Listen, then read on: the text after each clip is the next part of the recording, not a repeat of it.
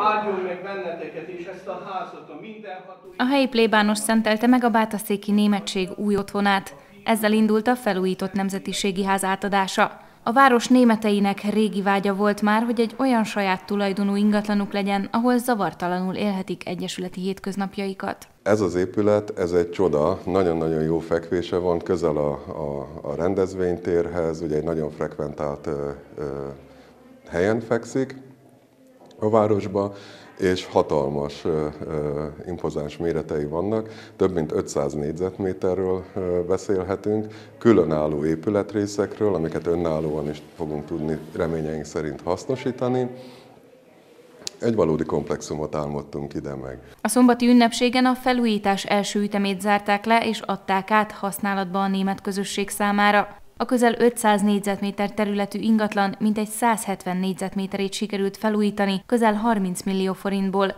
melyből 20 milliót a magyar kormány adott az Egyesületnek. Az átadón részt vett Horváth István, Tolna megye egyes számú választókerületének országgyűlési képviselője is, aki elmondta, tovább segítik majd az Egyesület munkáját. A jövőre vonatkozóan is van még feladat. A következő két évben teljes egészében meg kell újulni ennek a háznak, ez közel 100 millió forintos beruházást jelent még, és ehhez kormányzati támogatásban bízhatnak a bátaszéki németek. A képviselő azt is hozzátette, Magyarország kormánya nagy hangsúlyt fektet a nemzeti közösségek, kisebbségek támogatására, mert fontosnak tartják a hagyományok ápolását és a múltjuk életben tartását.